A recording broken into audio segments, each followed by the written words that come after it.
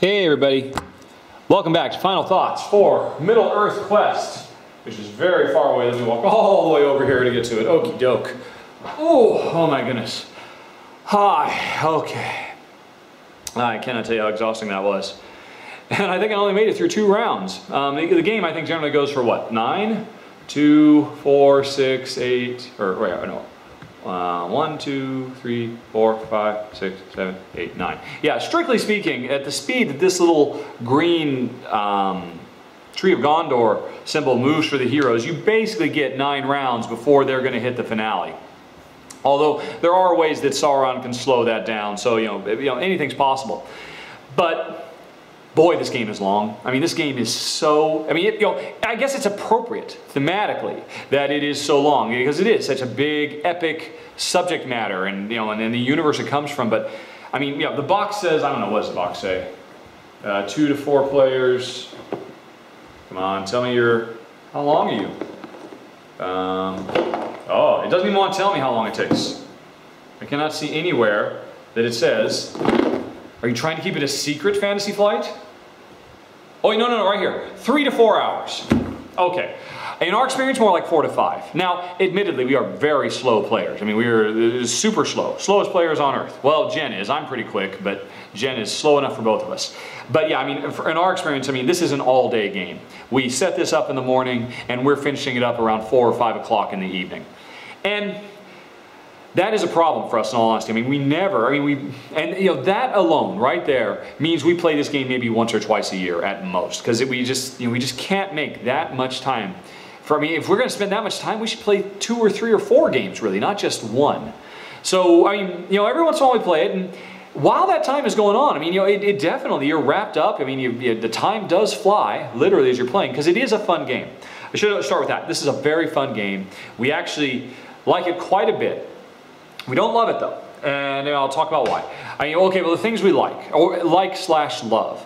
Absolutely love the combat system in this game amazing so smart um, you know, the, you know the, the notion of the bluffing and trying to figure out what your opponent is going to do and using card combinations and no dice rolling this is pure in, you know, matching intellect. Um, you know, you know you only have so much you can do before your character will run out of strength. Do you come in heavy with a thing? Do you go with like quick jabs and try? Do you do you set up combos where you know you're going to kind of force them to play a certain type of card on the next round, and then you set them up? Do you play to what is obvious, or do you know they're going to do that, so you you surprise them with you know un, unorthodox moves?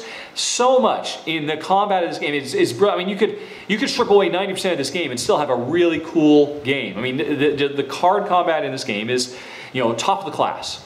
Um, so many games could learn from this game in terms of that. I absolutely, absolutely lovely. And the, the travel for the heroes is great. You know, I mean, the fact that this is a deck builder is just amazing. Um, you know, the heroes are working on their decks, and every time they have to choose what card they're going to add, they have to offset the power it brings them in combat, because all those new cards are cool, versus the flexibility it gives them in moving around the world, because, you know, sometimes you desperately need that mountain, because you've got to go up into the mountains. And, you know, some characters are stronger at moving in some uh, areas than others, and that's all thematically tied and appropriate to the source material brilliantly done. And you know, the asymmetry of the game too, absolutely brilliant. Uh, Sauron is playing a completely different game than the heroes are playing. And yet everything he does ties in so so tightly to what the heroes are doing. Everybody's involved in the same game, even though they have such radically different agendas and ways to play. Absolutely brilliant. So top, top notch work on the combat, on the travel, on the deck building, on the asymmetry. Absolutely love it. Um, you know, that you know, that the, the, the, the asymmetry from the Sauron who is creating a game world for the heroes to play in. Just great. Stuff we don't like, the length. Man, I wish this game played in 90 minutes. I wish it was, you know, 90 minutes to two hours instead of three to four. Because this we played this game maybe once a month, if it, if it were that case. I mean, because it's so, so good. But, you know, the length is what it is. That's the choice they made and so we don't like that. Uh, another couple things we don't like about it. Um, one, this game, in true Ameritrash style, is full of persnickety little rules that are very, very easy to forget in the heat of play. And now, you know, maybe to a certain extent that wouldn't be so much of a problem for us if we did, if we played this more than once or twice a year, and we'd start to remember all these dumb little rules about, um, you know, I mean, sometimes, eh, you know, non-intuitive rules like When uh, Boromir has to be placed in another place, he doesn't. He stays in the same place. Uh, don't forget that every time you rest, the you know Sauron moves up. Um, you know, the there's so many little things. Um, you know, you, you, can't place influence in a haven, but you can move a character, uh, you know, a minion into a haven. But they can't attack without the player's permission. And um, you know, you can you can rest in these places, but not in these places. And sometimes you draw these cards, sometimes you don't. Just a lot of persnickety rules. Very, very easy to get caught up. Now, that said, nowhere near as bad as, say, Arkham Horror, which is the poster child for modern Ameritrash games. Uh, you know, that game we don't like at all. We absolutely, well, despise is too strong a word, but we just have no interest in playing that game. It, eh, there's no fun for us there at all. Whereas this game, the Ameritrashy elements, you know, the much more, the, the, the non-elegant, let's say, rules, all the dumb little persnickety um, you know, gotcha rules. That's unfortunate. The length, unfortunate. Um, oh, and also the event cards. Um, well, the, these event cards and the, what do you call them? The encounter cards. Those are an unfortunate addition to the game too, or at least I don't know. I mean, I, I, guess I'd put them overall in the in the in the bad category instead of the good. I mean, you know, don't get me wrong; they're very cool and thematic, you know, and to a certain extent, they drive the game because this is where all the new favors keep coming in, and you know, the heroes have to track down these favors or they can't beat Sauron. But and, you know, and some of them are really, really clever. Like that last one that hit me when I was Thalin. That notion of, you know, I'm just walking along, and boom, six points of damage. Boom, you just lost six points. Oh, but if you want to give up cards, if every card you give up, you can mitigate one point of damage. And if you give up six cards, you'll actually level up. Now, that one's still, I mean, I don't know. I have this thing about uh, bolt of lightning events in games, you know, co-op games or Ameritrash games. You know, the notion that you know, they're, you know, they, have got this beautiful system. Everything works together. It's all about players making choices and making plans and and um, you know and setting them in motion and then you know seeing them through and and then games, you know, a lot of times, Arkham Horror being, you know, um, Robinson Crusoe did this too. And uh, this game does it a bit, but not as bad as the other ones, where it's just like, okay, everything's set up, and now well, let's see what happens. Draw a card, read it, and oh, well, there's no way I could have anticipated that. And boom, I just lost half my forces. Or boom, I just got a huge boon. Um, you know, if I'd drawn this card, it was great for me. But if it had been this card, it would have been terrible for me. And you know, it just comes down to basically dumb luck. I just, I, I, I, don't, I don't care for that. I mean, or, or to a certain, I should say, I don't care for it much. A little bit of it, a little bit of zing, a little bit of surprise, that's great. But this game, every turn, some big event is going to happen that radically changes. No, no, no, no, that's an overstatement.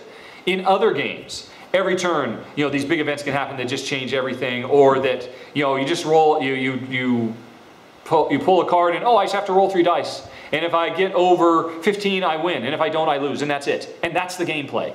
That's not gameplay. That's, that's, um, anyway, sorry. Um, I'm not going to slag, I'm not going to spend this whole time slagging off Arkham Horror. I know there's a lot of people who love it. I'm sure you have a great time. Um, it's all subjective. It, you know, these are all just personal opinions. But you know that does rear, rear, its ugly head here every once in a while. Where like you know somebody's really you know hurting. Sauron's really hurting, or heroes are really hurting, and then they draw a card. And, oh, now you're hurting even more, and there's nothing you can do about it. There's a little bit of that here, but it's not too bad. It's not near as bad as other games I've seen. So to a certain extent, I'll kind of forgive it, but it is kind of unfortunate. I'm just really not a fan of that whole Draw a card to see what lightning bolt hits you this time, and was it a good lightning bolt or a bad lightning bolt? A little bit of it's okay. It's a, you know, it's a staple of Ameritrash. I much prefer it in games like, say, Pandemic, where yes, there are, there is an event deck, and you draw them and, and bad things happen. But you know what? Those bad things are tied into the systems that already exist. So that's, a, and, and like I said, there are several events that are actually really work really well that way. But, yeah, well, it is what it is. It's a minor complaint. My bigger complaint is, you know, the game length and the little, oh, and, now of course I didn't get a chance to demonstrate this, but by far the biggest complaint I have about this, you know, whenever Jen and I play this, we're definitely playing it all day. It's a four hour game easily. 50% of the time, after everything's said and done, we both played a really good game. It's been very competitive. It's been neck and neck, and both of us crossed the finish line at the same time. That's not uncommon. And what that means is, um, or, or another common thing, yeah, you know, Jen makes it first, makes it there first, but I was successful in preventing her from completing her secret objective because I figured out what it was and I was able to prevent her. Basically, unless somebody has completed their secret objective and, the, and they got to the end first, or the other person didn't complete their secret objective, and you know, and, you know, unless that perfect storm where they made it to the end first and they did what they needed to do, the game goes into basically a sudden death overtime, where the Nazgul fight a chosen hero that the heroes put forward. And you know, they both get souped up, you know, they both draw up. Whoever's in the lead, if there is a lead, if somebody's dominant, gets a few more cards. And then they just have a bog standard fight. The same type of fight you've had dozens and dozens and dozens of times throughout the whole game. The whole thing, this four hour epic struggle, conflict uh, game is decided by just one fight that is not special or anything, it's just a regular fight. And that's, I gotta say, when that happens, that's very dispiriting. That's very disappointing. It's really, the climactic battle is incredibly anticlimactic. It almost feels like, well, let's just roll a die and see who wins this whole game then. Because of course, you know, I mean, the, the, again, the combat is brilliant in this game. It is very skill based. I mean, it is all about reading your opponent and guessing what they're going to do and throwing them for a loop. But it is also still based on luck of the draw. Which cards did you draw? And so that's a real shame when that happens. I would much rather that the finale rules get replaced with, oh yeah, you both crossed the finish line at the same time, or, or you both got your primary goal. Well, then pick something else. Some other scorekeeping mechanism that actually reflects how well I did over the course of the game. How many favors are still in the player's hand, or you know, if all the favors the player still has left over, um, you you remove something from the shadow pool for every favor, and you know, if there no if there's no more shadows in the shadow pool, then you know the heroes win. Something like that. Some kind of tiebreaker other than have a fight. Because that's a terrible, terrible tiebreaker, particularly because, at least in our experience, it happens quite a bit. It is not uncommon, I mean, which I guess means the game is actually fairly well balanced. It often comes down to this tiebreaker, but it's the worst tiebreaker ever. And now maybe we wouldn't mind it so much if this game lasted an hour. This game lasts four hours. And so that's a real bummer. And you know, the persnickety rules are a bummer, and um, Man, I, I sound like I hate this game, but we don't. We're keeping it. We like it. We like it a lot. We love the idea. We can't do it very often. We just don't have the strength to sit down. But sometimes it is pretty cool to sit down and play a single game for an entire day. That's pretty neat. And, you know, and Jen loves the theme. I mean, she is a, a hardcore Tolkien fangirl. I mean, I like Tolkien, but she loves Tolkien. And, I mean, she tried reading the Silmarillion. I don't know if she succeeded or not, but she tried. And, uh, yeah, so I don't know, I guess it's a bit of a mixed opinion, but on the whole, definitely think it's a keeper, definitely. Just wish, just wish either they cut the game by 75% in length or they fix the tiebreaker with something else, or they changed the balance so the tiebreaker wasn't quite so common. I guess those are really my only complaints about the game. So on the whole, I'd still say it's a keeper for us. Whether it is for you, well, that's up to you to decide. You've definitely seen this game played. You definitely have a good understanding of how this game feels. And hopefully you can make your own decision about whether Middle Earth is a game for you guys. And on that note, I will be bidding you adieu. Hope you have a lovely day doing whatever it is you're going to do. And um, the road goes ever on and on, over hill and, ah, I don't remember. It's been a long time. Uh, so no Tolkien quotes. Okay, just Talk to you guys later. Have a good day. Bye-bye.